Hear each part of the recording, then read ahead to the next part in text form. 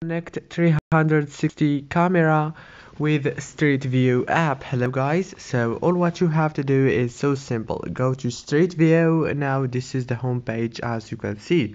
Now all what you have to do is go down and click on this create option. After you click create now all what you have to do is simple. Click on connect 360 camera from here and now as you can see it will start connecting the 360 camera easily. It's so easy and fast as you can see. And if this video was helpful for you please don't forget to like and subscribe. And thank you so much for watching this video until the end